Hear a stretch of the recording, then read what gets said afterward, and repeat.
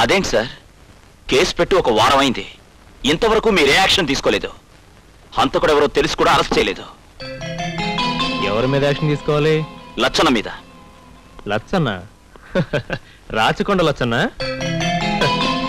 సాక్ష్యం ఏమైనా ఉందా? మా అమ్మ చెల్లి కళ్ళారా చూశారు. ఆహా! అంటే మీ అమ్మ చెల్లి ఎవరి పేరు చెప్తే వాళ్ళని అరెస్ట్ చేయాలా?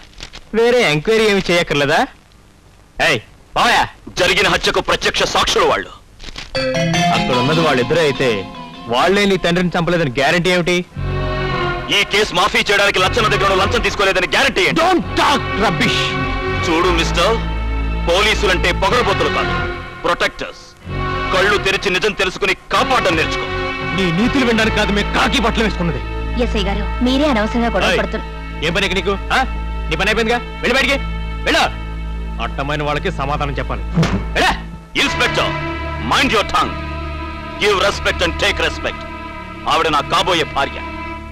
మిస్టర్ ఎస్ఐ లచ్చన్న లాంటి నీచుల దగ్గర ఎంగిలి మాంసం ముక్కలు తిని కండలు పెంచిన నీలాంటి వాళ్ళు డిపార్ట్మెంట్లో ఉండడం పోలీసులకే. నువ్వు ఒక్కడివే మొత్తం డిపార్ట్మెంట్ అనుకోకు. నీ పైన కూడా ఇంకా అధికారులు ఉన్నారు వాళ్ళ ముందు నీ నిజ స్వరూపం బయట పెడతా. కాబడ్డా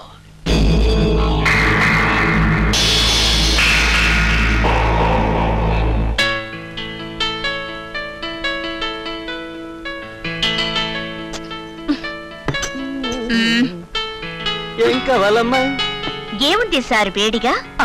సార్ నన్నే ఇడ్లీ వడ దోశ పెసరట్టు మినపట్టు మిరపకాయ బజ్జాయి ఇంకా? పూరి కూర ఉంది పుణుకులు కూడా ఉన్నాయి. ఇంకా వేడిగా? పొయ్యిలో బొగ్గులు ఉన్నాయి పొయ్యి మీద డేగిశాలు ఉన్నాయి. అంతేనా? ఇంకేమి లేదా మీ హోటల్లో వేడిగా? ఉండమ్మా నా బ్రెయిన్ ఉంది. మీతో మాట్లాడదు కూడా రోస్ట్ అయిపోయింది. అదే పట్రా. సార్ మీరైనా చెప్పండి సార్? ఎందుకు అతను బ్రెయిన్ తింటున్నావు? నువ్వు వెళ్ళి రెండు ఐస్ క్రీమ్ పట్టరా. Thanks sir. అమ్మయ్యా ఇప్పటికైనా ఈ లోకంలోకి వచ్చావు. లేకపోతే వాడిని లోక నుండే పంపించేలా ఉన్నావు. మరేం చేయమంటావు? నీకు థ్యాంక్స్ చెప్దాం అనుకుంటే నువ్వేమో సీరియస్గా మాట్లాడుకుంటూ కూర్చున్నావు. థ్యాంక్సా ఎందుకు?